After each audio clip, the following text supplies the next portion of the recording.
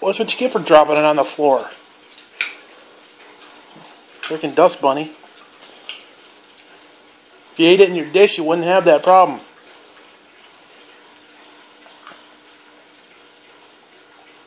I gotta clean this floor, don't I?